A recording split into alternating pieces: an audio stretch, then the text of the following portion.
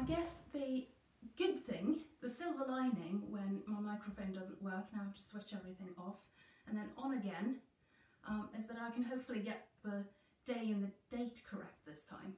So welcome to a time of prayer and reflection on Wednesday, the 2nd of December. Um, and I hope you can hear me all right now. Um, our reading is from Revelation chapter 21, verses 1 to 8. And that's going to be followed by a short reflection um, and some prayers. And then after the prayers, I'm going to be singing hymn number 45 from our red hymn book, O Come, O Come, Emmanuel, which is a familiar Advent hymn, or, or Advent carol for many, I guess, um, with a prayer for the coming of Emmanuel, God with us, and a good reminder of what we're really waiting for during Advent. Um, so if you if you know the hymn or have a hymn book, please do join me. I'll be singing verses 1, 3 and 5. Um, but now, as we start, let us light our candles, reminding us of God's presence with us.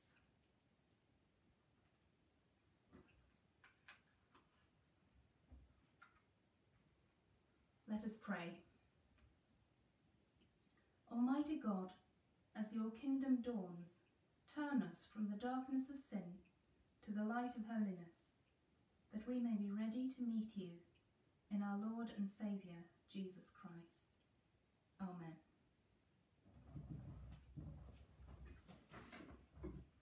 So, reading from the book of Revelation. Then I saw a new heaven and a new earth. For the first heaven and the first earth had passed away, and the sea was no more.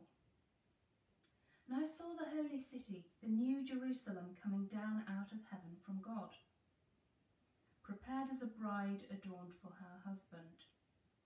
And I heard a loud voice from the throne saying, See, the home of God is among mortals. He will dwell with them. They will be his people. And God himself will be with them. He will wipe every tear from their eyes. Death will be no more. Mourning and crying and pain will be no more. The first things have passed away. And the one who was seated on the throne said, See, I am making all things new. Also, he said this Write this, for these words are trustworthy and true. Then he said to me, It is done. I am the Alpha and the Omega, the beginning and the end. To the thirsty I will give water as a gift from the spring of the water of life. Those who conquer will inherit these things, and I will be their God, and they will be my children. But as for the cowardly, the faithless, the polluted, the murderers, the fornicators, the sorcerers, the idolaters, and liars, their place will be in the lake that burns with fire and sulphur, which is the second death. This is the word of the Lord.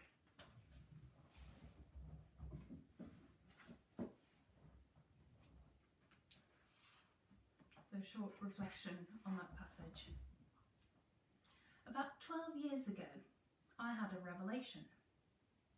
I was staying in the Netherlands for three months as part of my teacher training, and as a treat for my flatmate and myself, I got tickets to watch the final races of the Speed Skating World Cup at Heerenveen. I had been a great fan of speed skating for years glued to the TV screen during races. The Netherlands were consistently the best nation with the best skaters, and as a teenager, I had dreamt of meeting their national team. Finally, I could experience the Dutch favourite spectator sport for myself. It was an incredible day. On our way home in the train, my flatmate and I struck up conversation with two older Norwegian speaking men we were sitting next to. One of them told me he had been a skater. And I realised from what his friend was saying that he was being quite modest and had actually been quite good. After a while, it dawned on me this was in fact a living legend I was talking to. Kees Verkerk, former world all-round champion and Olympic gold medalist. I thought I had just been sitting in a train going home, when in reality I was having a dream fulfilled. Reading the book of Revelation can be a bit like that. Things are not as they seem. It describes to a persecuted and suffering early church the troubles of the time and explains and reveals the reality behind the apparent failure of a church more suffering than glorious. That God is ultimately in control and has the course of history in his power. That the apparent battle between good and evil has already been won through Christ's resurrection. That suffering and struggle have an end. Our reading today reveals this the fulfillment of what may seem at the moment to be but a dream. The promise that God has a home among mortals and will be with them and will wipe away every tear from their eye. Death will be no more. Mourning and crying and pain will be no more. And when our struggles seem overwhelming, may we cling to this promise, this hope, that things are not as they seem. Suffering and struggle do have an end. In reality, the victory has already been won, and we will see its fulfillment. Amen.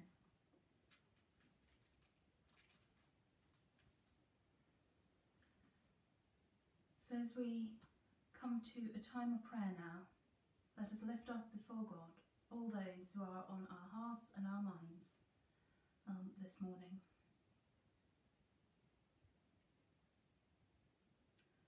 Loving God, we come to you in prayer for the nation, for the world,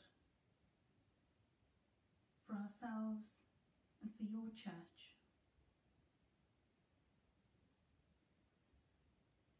We pray for this country as we come out of this second national lockdown. And we pray for all those who are struggling and suffering at this moment.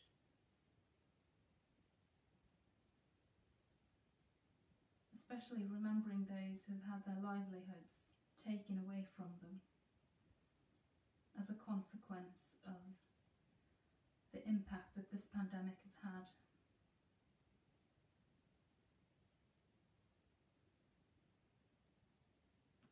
We pray for those who are sick, for healing, for comfort for those who have lost a loved one,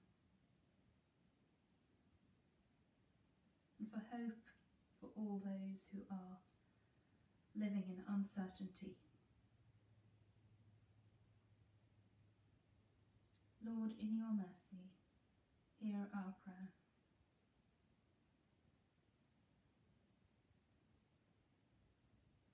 At this time, we also pray for all those in authority, those making decisions on behalf of all of us. We pray for world leaders and give thanks for international cooperation um, in fighting this pandemic. We we give thanks for the work of vaccine developers and for the recent news of the um, of the vaccine that's been approved here in the UK.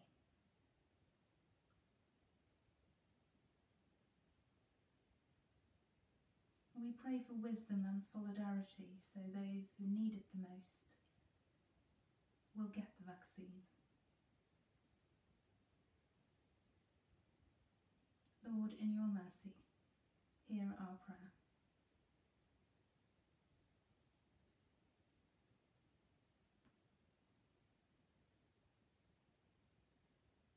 Father, we pray that you look in mercy on your church. We, as we pray for all who minister to God's people, and especially our archbishops, Justin and Stephen, and our bishops. And in this diocese, we pray for our bishops, Martin, Ruth, and Will.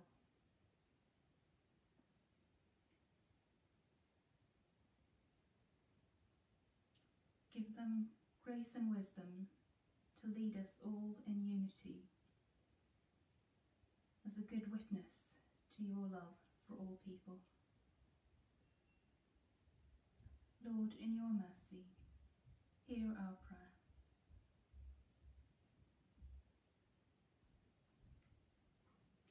And a prayer for our nation. Loving God, at this time of crisis, when so many are suffering. We pray for our nation and our world. Give our leaders wisdom, our health service strength, our people hope. Lead us through these parched and difficult days to the fresh springs of joy and comfort that we find in Jesus Christ our Lord.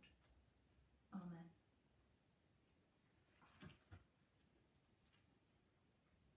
Almighty and everlasting God, we thank you that you have brought us safely to the beginning of this new day.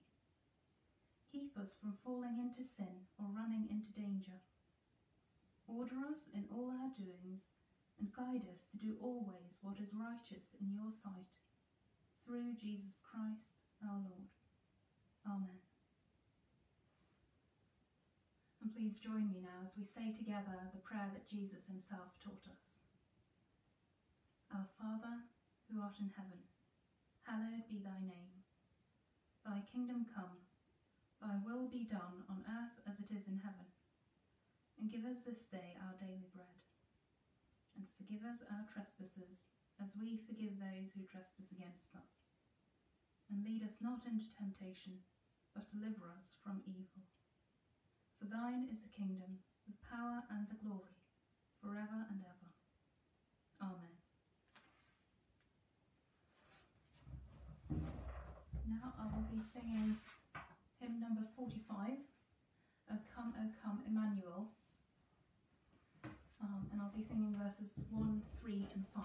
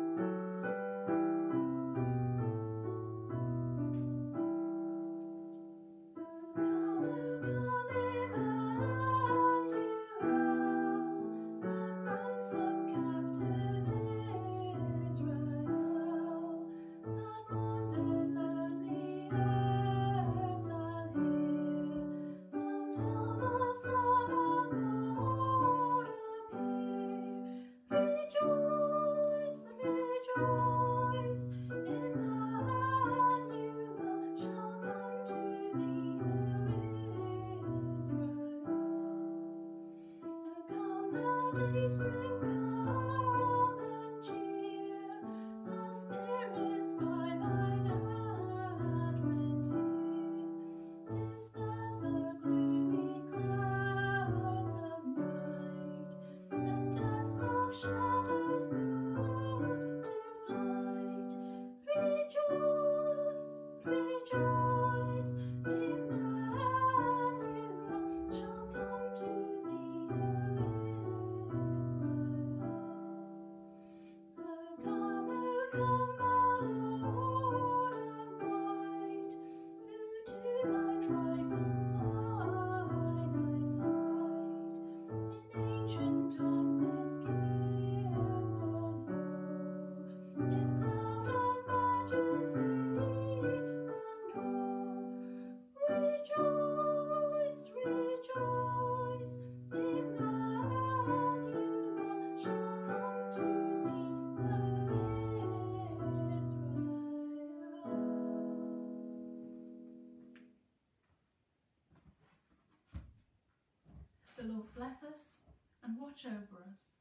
The Lord make his face shine upon us and be gracious to us.